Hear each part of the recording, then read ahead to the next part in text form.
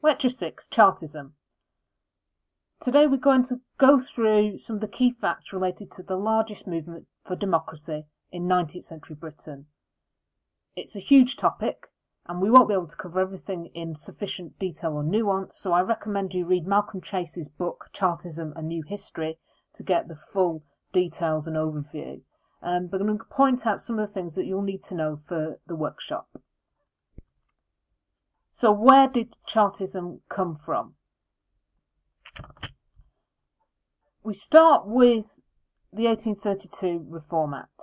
So as we've seen in previous workshops, the parliamentary reform movements that emerged from the French Revolution onwards in Britain um, were campaigning for some measure of parliamentary reform, some measure of extended franchise. There were large working class groups who were campaigning for democracy for all men and various other um, parliamentary reforms. But the ultimate outcome was, to some extent, a damp squib, um, whereas this cartoon shows it as a as a big firework going off. Um, the 1832 Reform Act was eventually passed by Whig government to dampen down campaign for reform, and it gave a somewhat limited extended franchise to anyone who had £10 worth of property and um, reorganised the parliamentary system. So some of those big industrial cities um, that didn't have parliamentary representation now got them, whereas some of the small villages that had got MPs through um, legacy and history um, were um, disenfranchised. So it was a significant measure in terms of changing the parliamentary system, but it wasn't a huge um, victory for, dem- for democracy by any means. So um, some of the middle classes and a large number of the working classes who had previously campaigned for the vote were very dissatisfied with the 1832 Reform Act. The other measure of the Whig government that the working classes in particular were dissatisfied with was the New Poor Law of 1834, um, which is rolled out across the country from 1834, but from 1837 onwards, particularly in the north of England. And there's huge discontent, and there's again think about tactics of protest movements. There's um, societies and associations set up to campaign against the new poor law. And these are very grounded in working class districts, in industrial districts that fear the new workhouses and the new punitive regime. So the combination of these two measures um, passed by the Whig government um, begin to fuse in the later 1830s um, and end up um, creating a new movement called Chartism. Um, the discontent, the economic discontent that the working classes felt at their condition in industrial society and the new poor law um, began to be conceived of in political terms. That the only way they can get the franchise um, and sort out economic problems is to form what they called the People's Charter, and they campaigned uh, very famously, as we know, for six points, which are not brand new. Major Cartwright in the 1770s in the American Revolution was campaigning for these, but they get it's the first time these are really put down on paper and campaigned for as a platform. Um, so the six points are universal suffrage, so the vote for all men, no property qualifications for MPs, so that working class people can become MPs, annual parliaments, so a general election each year, equal representation, so reorganising the boroughs again so that um, there's an equal number of, of population per, per borough, um, payment of, of MPs, so again, um, encouraging working class people to give up their jobs to become MPs, and vote by ballot. So being able to vote in secret so that no one can coerce you to vote in a particular way. And it's a very clear platform, it's a very clear program, and it's published in 1838 and one of the key tactics of the Chartists is to petition Parliament to get this passed. Um, the traditional historiography of Chartism focuses on the leaders, who, as you expect, are all male.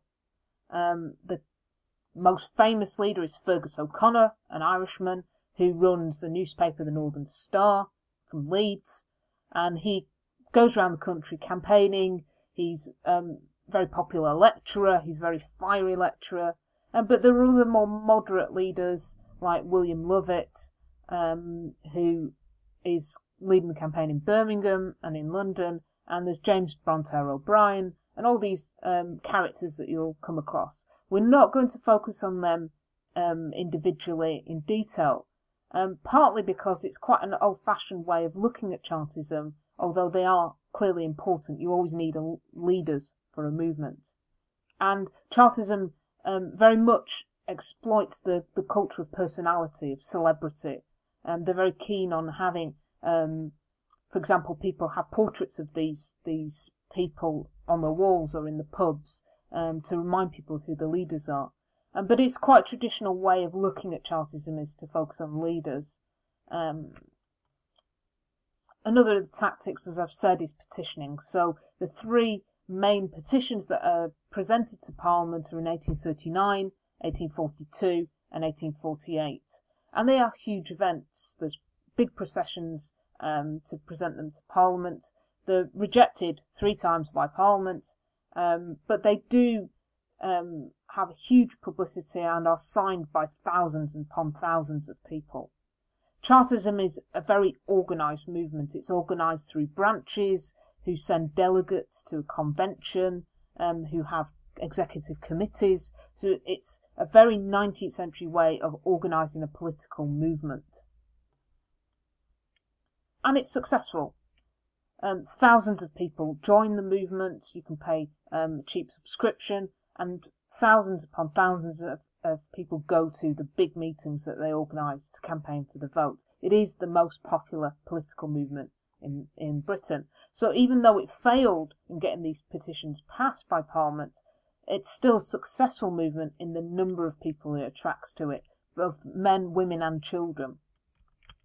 Um, so their tactics, in particular, they build on the heritage of the uh, mass platform that we saw that led up to Peterloo, and they have these huge monster meetings, as they call it, throughout the country, everywhere um, that has some open space um, will have speakers speaking on a platform um, professing um, the cause of the People's Charter. And it's very much about democracy, it's very much about the people, it's very much about solving economic problems through political means.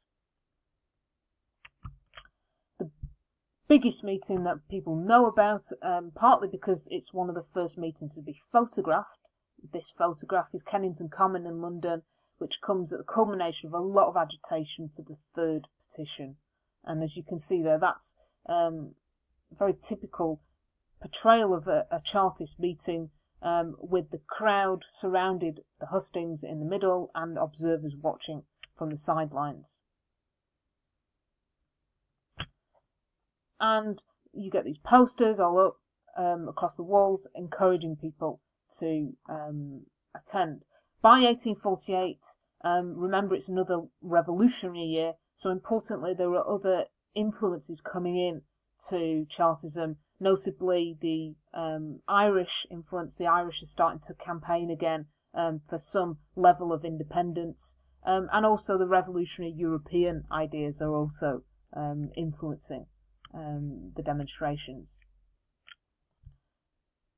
I won't go on too much about this, but there's again an, an older historiographical question about how much of Chartism um, was motivated simply by poverty, by people um, seeking a political solution to their economic condition. So there's a very famous quotation by one of the preachers of the movement, Joseph Rayner Stephens, when he says the question of universal suffrage was a knife and fork question.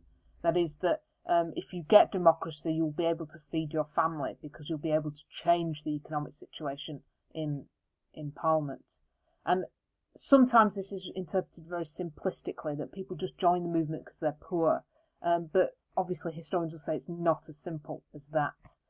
Um, so Malcolm Chase in his book says hunger does not readily translate into a sustained political movement supported by a dedicated press and its own professional agents and lecturers, and for the most part distinguished by self-restraint and discipline. This is exactly what Chartism was.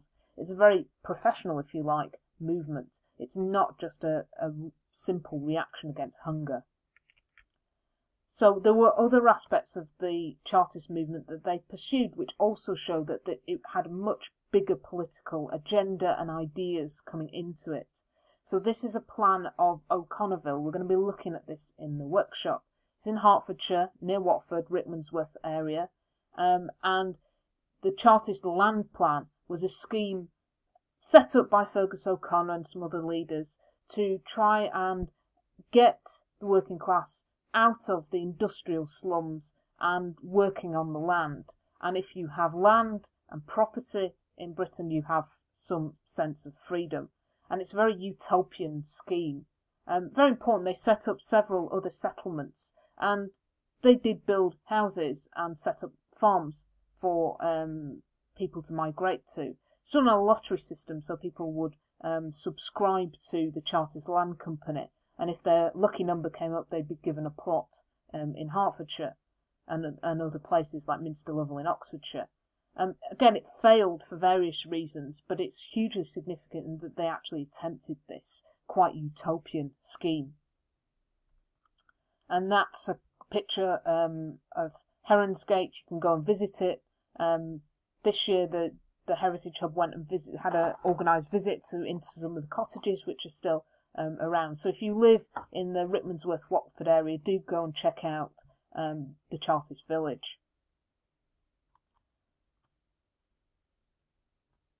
Another key text in this um, historiography is Gareth Stedman Jones, um, who wrote um, quite a long time ago now um, a, a way of rethinking Chartism in which he debated the fact that the Chartists were a class-based movement, and he looked at the language of Chartism and argued that it had much longer continuities with the parliamentary reform movements from the 1760s and 1770s onwards, um, and that it was actually quite a traditional movement in what it was demanding, and therefore it wasn't a reaction to the new industrial um, working class circumstances that's debatable and it depends on where you stand on um, how much continuity you think there was. Um, and we can debate that in the workshop, but it's a very important um, historical argument.